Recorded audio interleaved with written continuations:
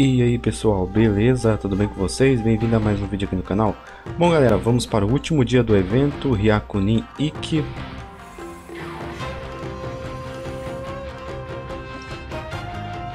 O último então vai ser Redemoinho Infinito, hoje tá 4x, olha só quanto bicho que vai vir.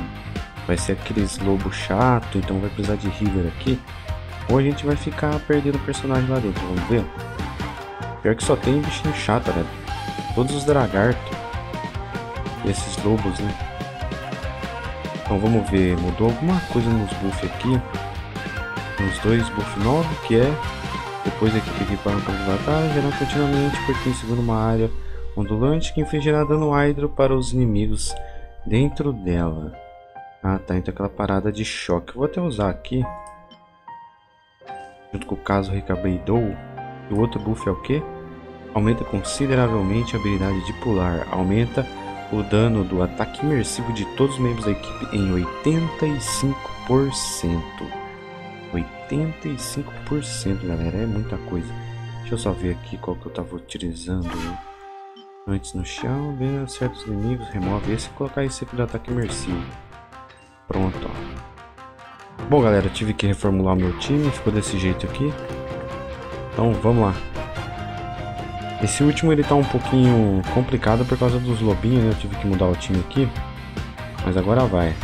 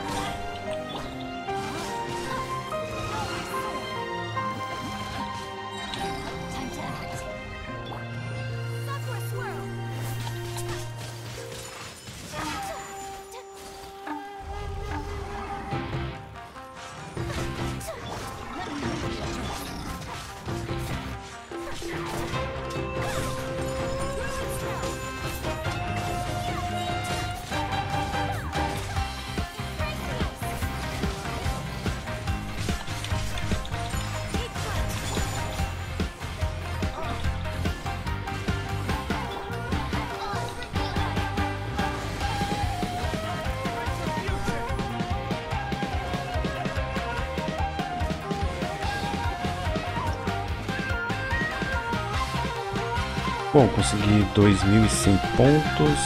Vamos sair aqui. Aí vamos dar uma olhada dos prêmios.